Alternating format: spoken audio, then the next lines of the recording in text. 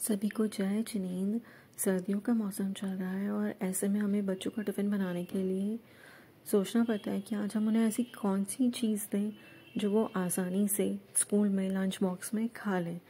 तो ऐसी ही मैं आज एक स्नैक्स रेसिपी तैयार कर रही हूँ, जो हेल्दी भी है और बच्चे उसे आसानी से खा लेंगे।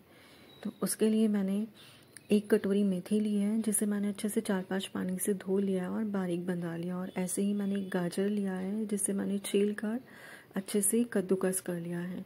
और एक कटोरी मैंने आटा लिया है, उस आटे में मैंने जीरा, अजवाइन, सौंफ और और थोड़ी हींग डाली है और मैंने इसमें सफ़ेद तिल भी लिया है और नमक ले लिया है, हल्दी ली है और बच्चों के अकॉर्डिंग आप अपने हिसाब से लाल मिर्ची उसमें ऐड कर सकते हैं।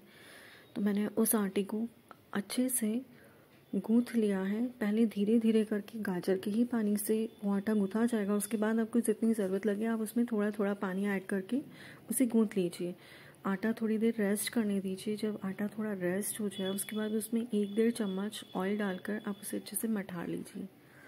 अब आप छोटी छोटी लोइयाँ बना लीजिए और उस लोई से पतले पतले से पराठे बना लीजिए। जब हमारा पराठा बन जाए तो तवा गर्म होने पर हम उस पराठे को डाल देंगे और दोनों तरफ़ अच्छे से तेल लगाकर धीमी धीमी आँच पर उन पराठों को हम सेक लेंगे। धीमी धीमी आँच पर पराठे सेकने से बहुत ही अच्छे, कुरकुरे, स्वादिष्ट पराठे बनेंगे और ये पराठे इतने अच्छे लगेंगे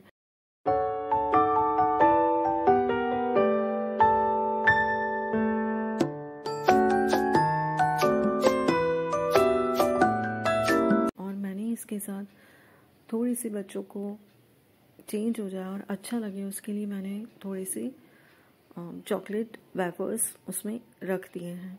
तो देखिए हमारा टेस्टी सा किड्स लंच बॉक्स बनकर रेडी हो गया है।